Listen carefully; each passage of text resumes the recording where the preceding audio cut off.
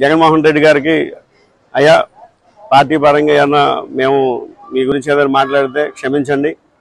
అవి పార్టీ పరంగా రాజకీయంగా చేసిన విమర్శలే తప్ప వ్యక్తిగతంగా నాకు మీ మీద ఎలాంటి ద్వేషం లేదు.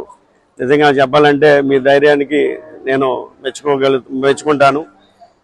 ఎందుకంటే చెప్తున్నానంటే అటు విశాఖపట్నం నుంచి ఇటు తిరుపతి వరకు లేదంటే ఇరవై ఐదు ఎంపీ స్థానాల్లో ఐదు రిజర్వ్ స్థానాలు తీసేస్తే మిగిలిన ఇరవై స్థానాల్లో పంతొమ్మిది స్థానాలు ప్రకటించారు. పంతొమ్మిది స్థానాల్లో బీసీలకి చాలా పెద్ద వేసి పదకొండు స్థానాలు మీరు బీసీలకి ఇచ్చారంటే మీకు అసలు పెద్ద అభిమాని అయిపోయాను అసలు. అలాగే మన తెలుగుదేశం ప్రభుత్వం చూస్తే అటు వైజాగ్ నుంచి అటు నెల్లూరు వరకు తీసుకుంటే ఏదర్ న్యూస్ ఆధారికి ఓసీలకు ఇచ్చుకుంటా తూతూ మంత్రంగా ఏలూరు నాకు ఇస్తానన్నారు ఇప్పుడు తీసుకెళ్ళి ఎక్కడో కడపలో ఉన్న యాదవ్ని తీసుకొచ్చి ఇక్కడ ఉభయ గోదావరి జిల్లాలో రుద్దడానికి ప్రయత్నాలు జరుగుతున్నాయి. అది ప్రజలు ఏ విధంగా ఆమోదిస్తారు ఏంటనేది అది తెలుగుదేశం పార్టీ అధిష్టానికి వదిలేస్తున్నాను. నేనైతే ఎలాంటి విమర్శలు చేయదలుచుకోలేదు. వాళ్ళ విజ్ఞతగా వదిలేస్తున్నాను. ఎందుకంటే నేను కష్ట నష్టాలు అన్నీ భరించిన వాడిని.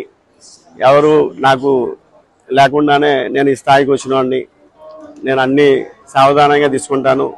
నా చిరునవ్వుతో ముందుకు వెళ్తానే ఉంటాను. ఎలాంటి బాధ వచ్చినా నేను అలాగే వెళ్తాను. మీ అందరికీ తెలుసు రెండు నెలల క్రిందట రెండు నెలలు కాదు ఒక నెల కిందట నా భార్య చాలా అత్యవసర ఎమర్జెన్సీ హాస్పిటలైజేషన్ అయితే నేను ఇక్కడ రెండు మూడు రోజులు ఉంటే నా మీద వ్యతిరేక శక్తులు చాలా బాగా పనిచేసినాయి.